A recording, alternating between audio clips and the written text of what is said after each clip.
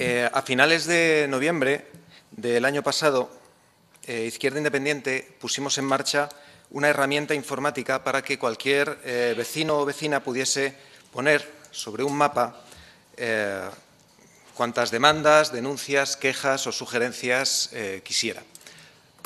Ubicarlas geográficamente, comentar o valorar las demandas y quejas puestas por otros vecinos, subir fotos e incluso, por supuesto, si las demandas son atendidas, pues marcarlas como resueltas. El compromiso de Izquierda Independiente era recoger esas demandas, trasladarlas al Gobierno, como en dos ocasiones hemos hecho con extensas misivas al señor alcalde, para hacer un seguimiento y tratar de que se cumpliesen.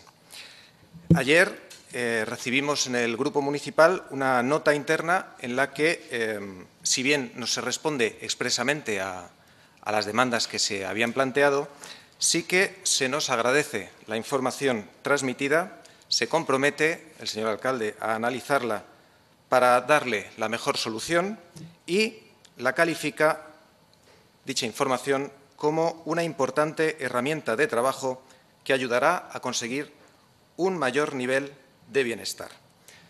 Por eso, eh, yo agradezco esa carta. Creo que eso es lo que los vecinos y vecinas quieren de sus representantes políticos.